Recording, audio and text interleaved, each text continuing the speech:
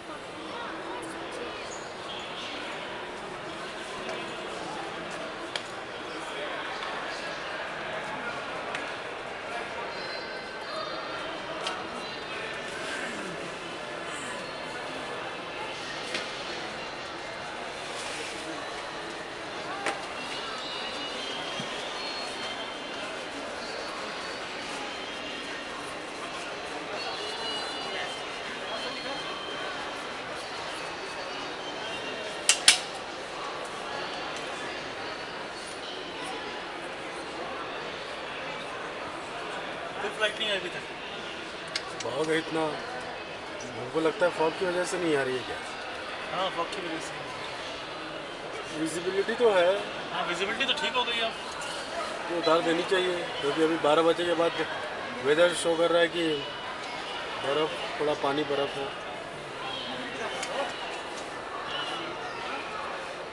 बारह बजे से पहले उठ गई तो ठीक है।